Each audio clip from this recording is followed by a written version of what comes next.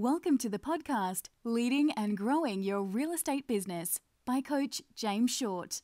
This podcast is designed to help you with strategies, insights, and ways to increase sales, build and lead high performing teams, and ultimately grow your business. Your host, James Short himself, also shares some of his secret sources on how he helps his own clients achieve business growth quickly and easily. James has been coaching those in the real estate and property industry for close to 10 years now, and his clients keep on saying, since working with James, their results have been outstanding, given them more money, time, and fulfillment. James is offering a free strategy call to those listening to see how he can assist you to take your business to where you want to go. Simply go to jamesshort.com.au forward slash strategy and book in a time today. Now, on with the show.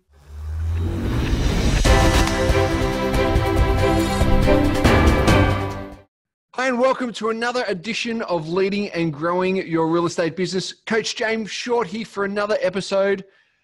And you know, sometimes out there when you when you're talking to people and you want to go far out, we need to get that person back. Wow, that, that just uh, we could be talking hours and hours and hours and hours.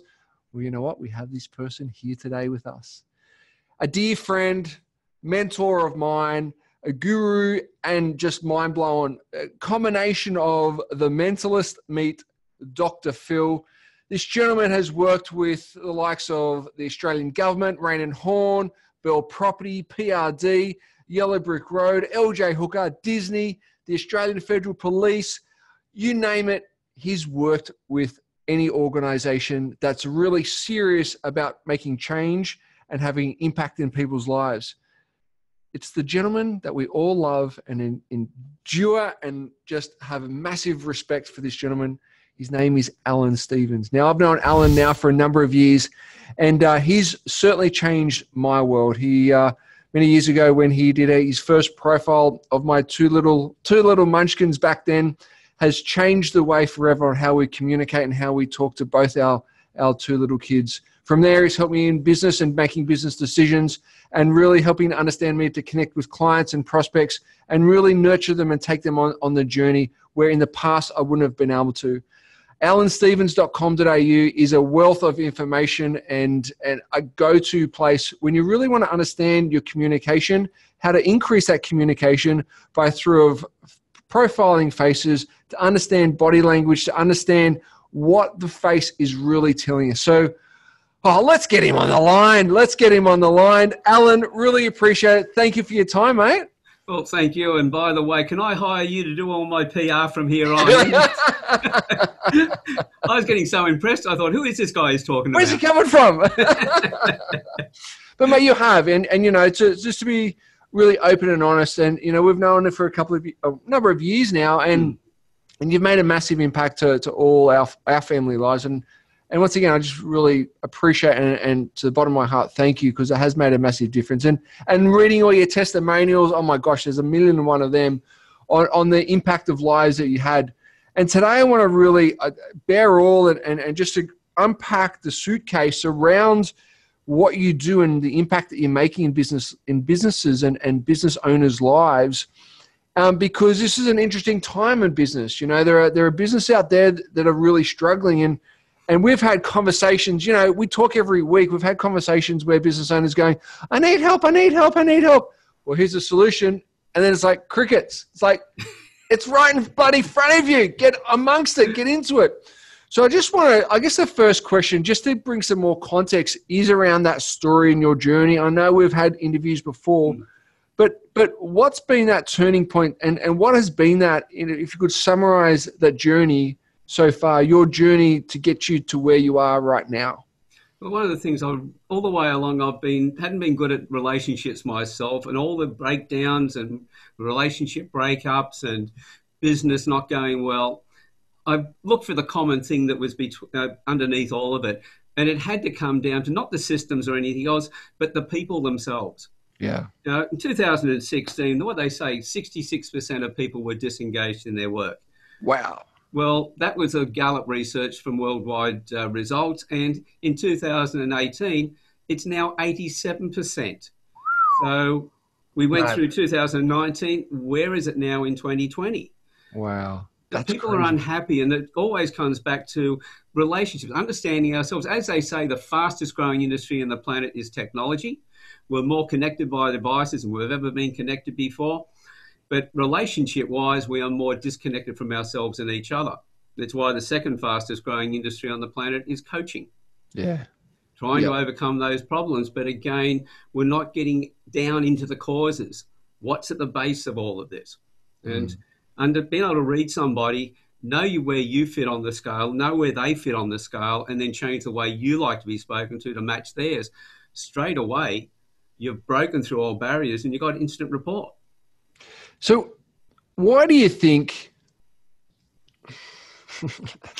I know where we could take this. why do you think people put their hand up and they they want help? They're asking for help, but then when the help is there on the platter, that they don't take take it up. What what do you think that is? Well, a lot of it comes down to what we've just been talking about. When we come to technology, yeah, everybody goes, okay, somebody can do that for me. I'll put a system in or whatever it might be. But because we're so disengaged from ourselves and, you know, domestic, we're separated domestically, we're separated from our kids and everything else, that EQ, you know, we've been into IQ being the intelligence side of things. Then we the, uh, we've got the EQ, which is the emotional intelligence. We're not taught that anywhere. Yeah.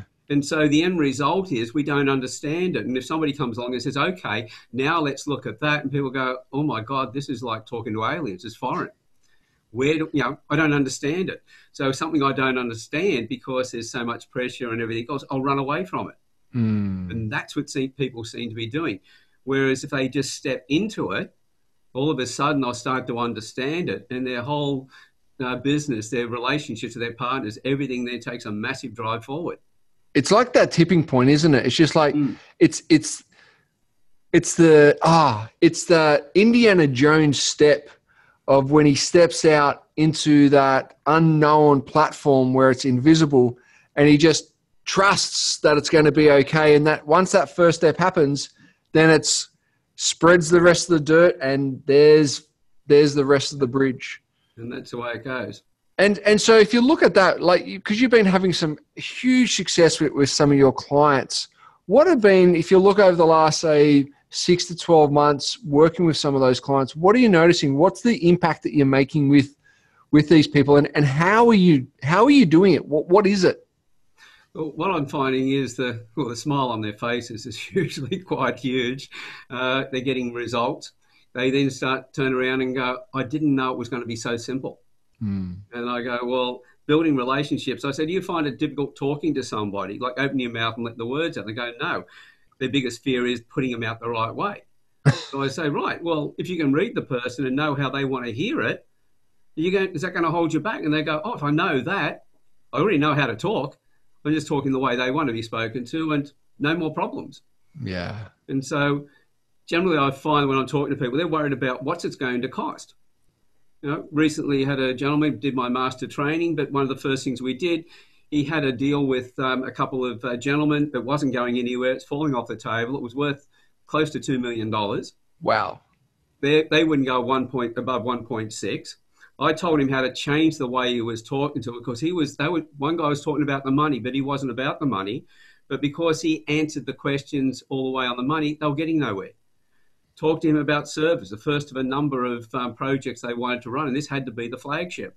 right, So talk how this one was going to really carry everything through. His business partner was about the money, but also wanted to do things quickly. So talking about getting this one done fast, get the clients in, have the money then to move on to the next one and get the whole lot of the projects finished faster. wow. He added $150,000 to the deal and signed them off on it. So when people hear that and you go, okay, even if his profit was only 10%, for instance, that's $200,000. And I don't charge anywhere near that for one of my courses. Right. There's a massive return on investment right there. it's, it's like, how many thousand percent is it? Yeah. Yeah. Wow. And so, or tens of thousands of percent. So it's, but sometimes people are, oh, I can't believe you could make such a return. Mm. And I go, well, think about sometimes when you've spoken to somebody, you've just changed that moment you've spoken to them, and the response with them completely changes. How big was that shift? And they go, oh, yeah, that was a huge one. I go, well, relate that to your business. Yep, so true. And that's the impact, like the impact, totally get it in, in the sales arena. Like it's just this stuff is just gold in, the, in that whole arena. And then it's looking at then managing effectively your team and, and, and going through that. And as you said, it's the, it's the impact that we have of people around us mm. that can be absolutely huge mm. and and life changing by understanding what's what's important to them. That's it. See, I was gobsmacked the other um, last year. I'd put a post up of picture of Richard Branson, the statement that uh, take care of your employees and they'll take care of your business. Yep. And that's simple, Richard Branson. And all I put up next to it was, if that's the case, then why is it that 87% of people are disengaged in their work? The shock that hit me was the number was of responses. and so I put another one up with Richard, but leading into the same statement was customers don't come first, employees come first. Well, that was like, and I put next to it, yes, it can be that simple. And this is why. And it was like I'd opened the bird birdcage up and thrown the cat in. Feathers flying left, right, and centre.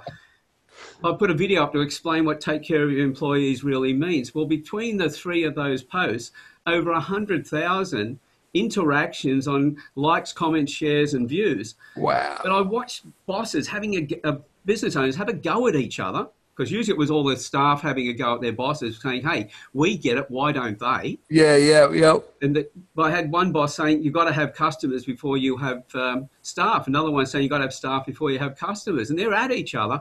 And I sat back and watched it for a while, and I'd already worked it out. The guy who's saying you have to have customers is a restaurateur. Right. So you, have got to have clients first, or, you know, you know staff first, was a yep. restaurateur. The other one who was saying, no, you've got to have customers first, was a locksmith. So he right. started as a one man band. But as oh. I pointed out to him, he more than anybody else should have known that customers come first because if he was in a bad mood, he found out firsthand from his customers what they thought of it. Yep. Yep. Yep. So if you want to put your customers first, put your staff first, and therefore your customers come first. Love it. It's an interesting thing, but it's, it's a, a very interesting, isn't it? Oh, it's a mind twist. But when you stop and think about it, it does. Yeah, it's so, so true. And if that's one of the biggest problems, if we get businesses starting to think that way, because if your staff are disengaged, we know that if staff are bullied, performance drops 70% for that individual. But everybody else who observes it, it drops another 40%.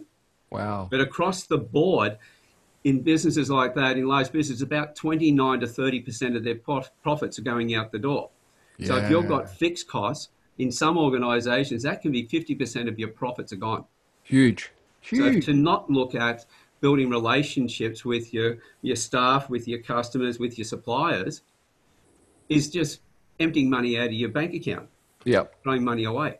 Yep. So true. So true.